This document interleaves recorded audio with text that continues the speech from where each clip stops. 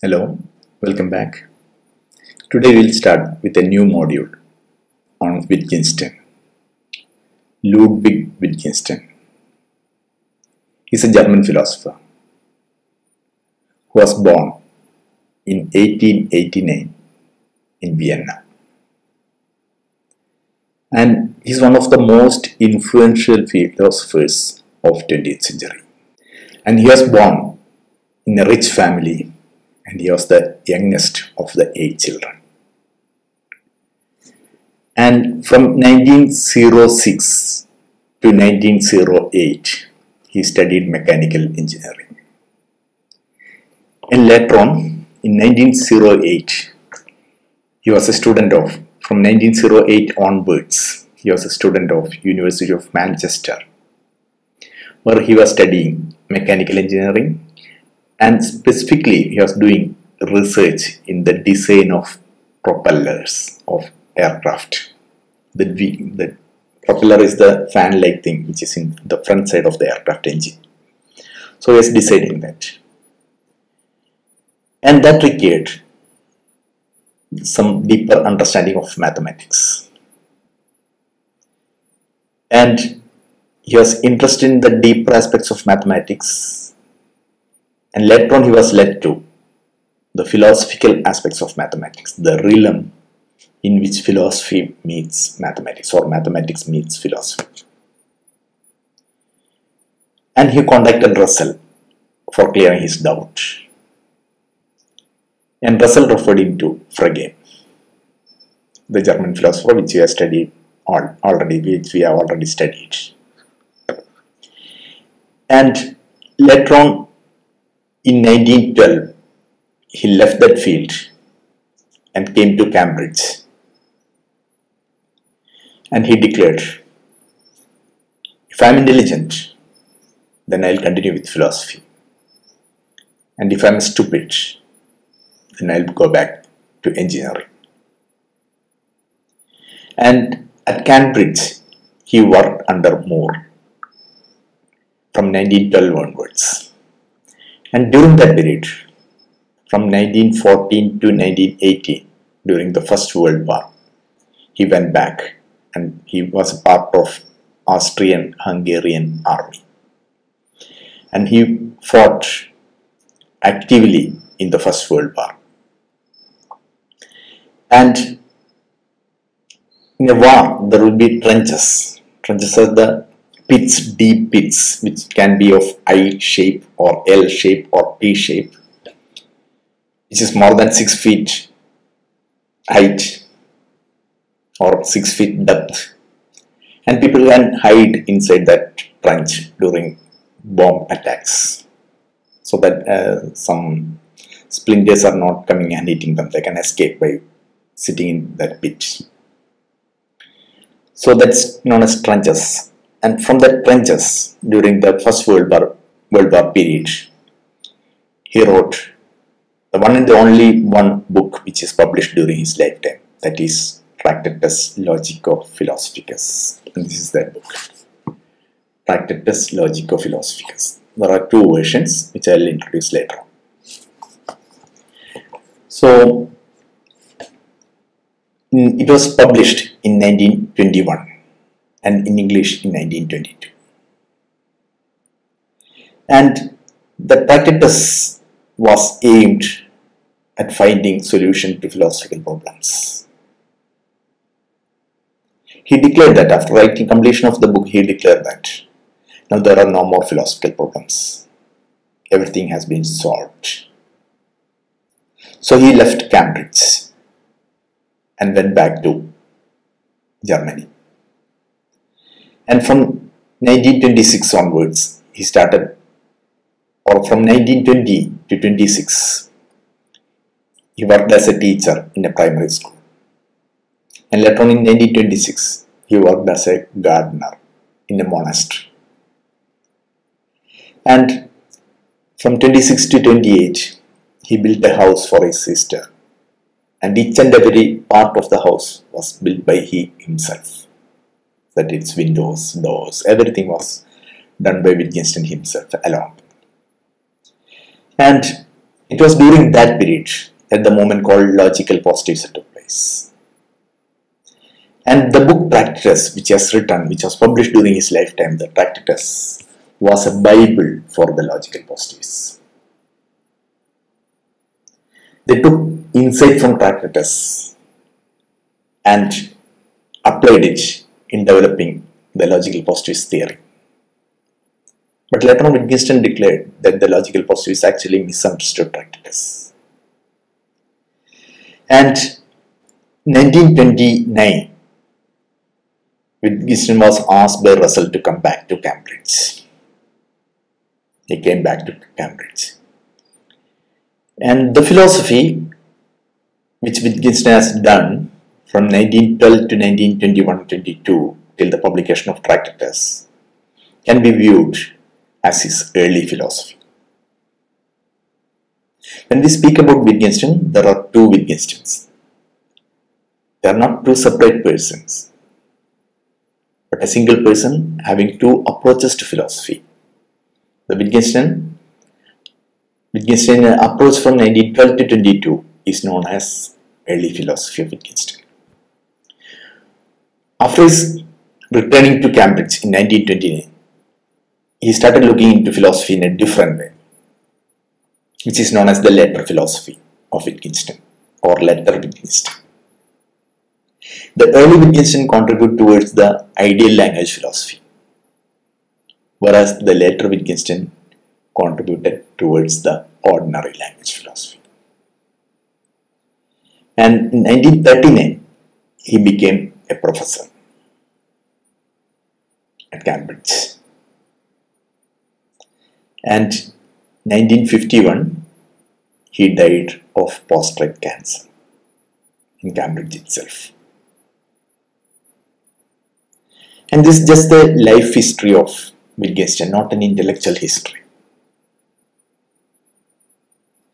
And his major publications, his major works are first one, we can divide his works into two groups, that which belongs to early philosophy or that which belongs to early Wittgenstein and that which belongs to later Wittgenstein.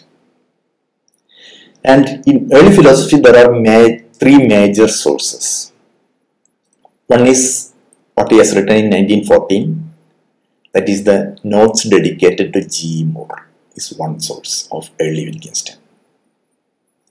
And another source is what he has his notebooks, which he has done from 1914 to 60, which is published as notebooks. The other and the most important work work in early philosophy is Tractatus Logico-Philosophicus. And there are two versions of this book, two translations. This is the translation by Ogden, Ogden's translation, which is published in English in 1922. And this is Pearce translation. So two translations, there are minor differences in translation. When it is translated from German to English, there are minor differences in translation, but the idea remains the same. And this book I'll be introducing in the next class as an introduction to Tractatus or the early philosophy of Wittgenstein. And even though this is a book which almost the originally which is having only 20, 75 pages, there are thousands of books written on this, having crystallized concepts. There are thousands of interpretations. Or there are articles based on an, only a single sentence of this book. So that's the importance of this book in the history of philosophy. And as far as the later philosophy of Wittgenstein is concerned, there are many writings available, but all of them were published after his death. The only book which was published on during his lifetime is Tractatus. Coming to his later philosophy, the most important work of Wittgenstein is the philosophical investigation. This is one of the most important works in later philosophy and this is published in 1953. 1951 he died and 1953 this book was published. And another book is Culture and Value by Wittgenstein. This is not strictly fitting to uh, the philosophy of language. and, and the book is the lectures on the foundations of mathematics, what he has done, the lectures he has done in Cambridge, lectures on the foundations of mathematics. So Wittgenstein's genius in philosophy, it's not limited to philosophy of language or analytic tradition. The roots of continental philosophy can be traced back to Wittgenstein. That's the later philosophy of Wittgenstein. And also, there are references to religion, to mysticism, to culture, to aesthetics, to philosophy of mind. All these areas are covered, or all these aspects are covered in Wittgenstein's work. And that's the importance of his genius. Now, other books which are part of later philosophy is the Blue Book and Brown Book. These are the notes that are taken by Wittgenstein students. And the blue book is the blue book and brown book. It's the color of the notebook. And another important book is Zettel. Z-D double T-E-L. Zettel is another major work in letter philosophy. And still another work is On Certainty. On Certainty belongs to the later Wittgenstein. So these are the major works. And if you compare the early philosophy and later philosophy of Wittgenstein, there are marked differences. The early philosophy, as I told earlier, is trying to formulate an ideal language. It belongs to the ideal language philosophy. So everything is clear there, everything is precise there, there is no ambiguity, there is a clear logic. Whereas the later philosophy of con is considered, it belongs to the uh, ordinary language philosophy. How language is used in the everyday life with its diversity is studied in later philosophy.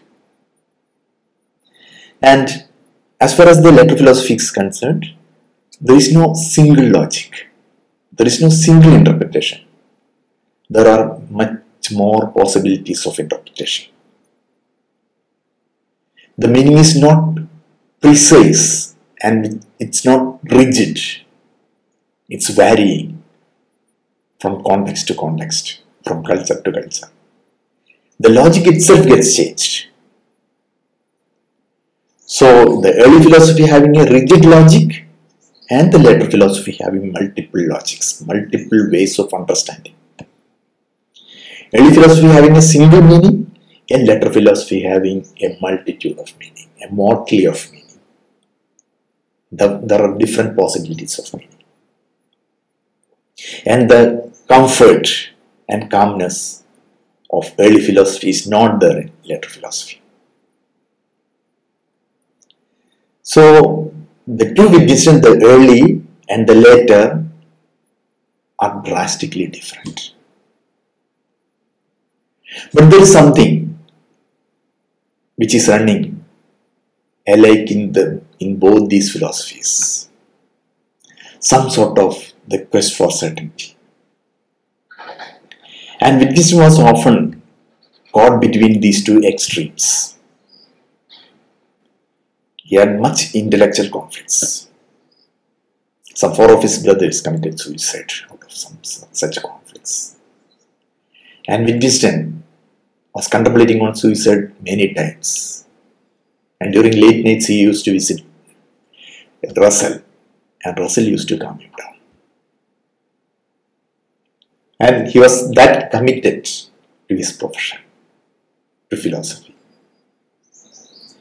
And the transition from the early to later, the certainty to ambiguity, the rigid to the loose, to a single logic to many logic is well described in one of the movies about Wittgenstein by Derek Jarman. There is a scene which I'll play later on in which the economist Keynes tells a story to Wittgenstein on his deathbed. And the story is about the whole life of Wittgenstein. Wittgenstein from a early from the point of view of early philosophy, where he wanted everything in clear and precise, to the later philosophy. And also about the thread which is running throughout this early to later, that is the quest for certainty, which made him insane to a certain extent, which was the cause of all his grief. And to understand Wittgenstein, to understand Wittgenstein's philosophy, there's a need to understand his life also.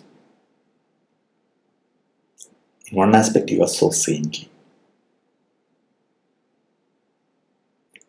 And he, as I told earlier, describes not only about logic, but also about religion, mysticism.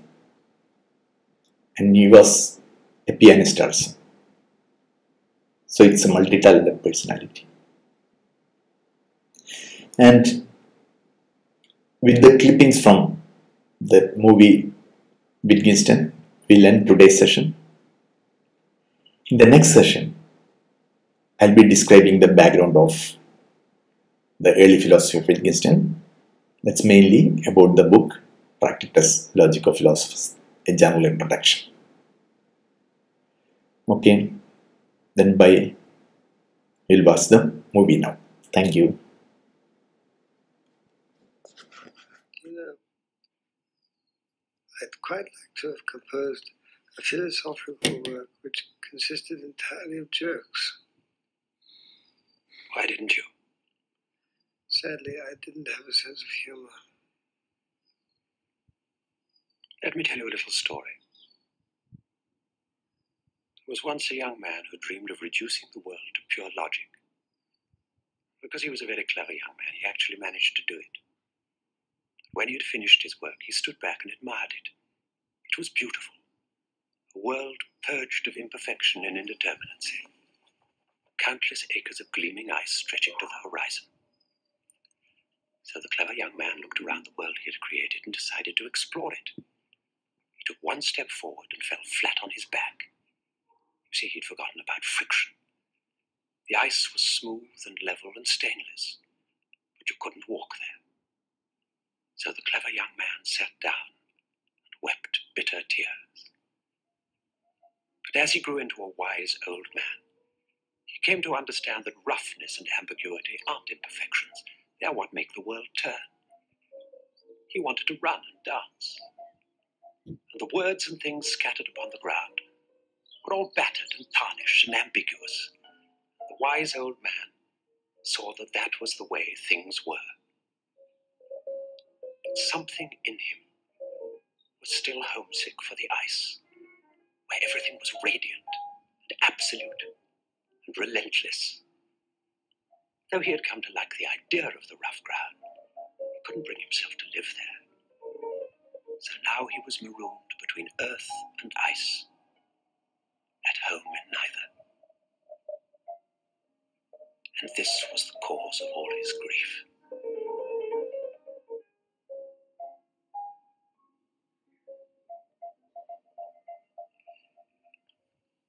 Hail, chromodynamics, Lord of Quantum. This is Quark, Charm, and Strangers reporting. Concerning the philosopher Ludwig Wittgenstein, deceased. The solution to the riddle of life in space and time lies outside space and time. But as you know, and I know, there are no riddles. If a question can be put at all, it can also be answered.